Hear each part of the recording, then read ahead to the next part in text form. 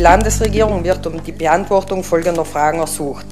Konnten sowohl jene 50 Asylwerber, die am 28. Mai eine Teilnahmebescheinigung überreicht bekamen, als auch alle anderen Teilnehmer am Projekt HAME 2F, welches in Zusammenarbeit mit der Sozialgenossenschaft Agrat organisiert wurde, in den Arbeitsmarkt integriert werden? Wenn nein, aus welchen Gründen nicht? Wenn ja, inwiefern war das Projekt HAME 2F für deren Integration auf dem Arbeitsmarkt ausschlaggebend?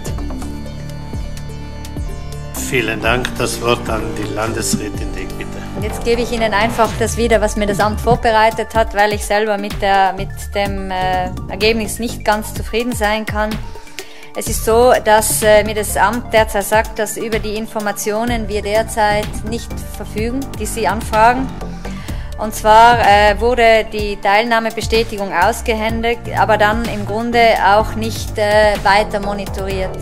Das heißt, derzeit äh, habe ich, kann ich Ihnen nicht die Daten liefern, wie äh, der weitere berufliche und persönliche Verlauf der Teilnehmerinnen und Teilnehmer äh, dieser, dieses, dieser, dieser, dieses äh, Integrationsprojektes war und ist. Ich denke, dass das nicht gerade ein gutes Beispiel ist, was wir alle nicht wollen, äh, wie Integration zu funktionieren hat, aber auch nicht, wie öffentliche Mittel äh, hergenommen werden äh, für, für solche Projekte, die dann im Endeffekt eigentlich kein konkretes Ergebnis bringen, beziehungsweise man weiß es nicht, was aus diesen Leuten geworden ist.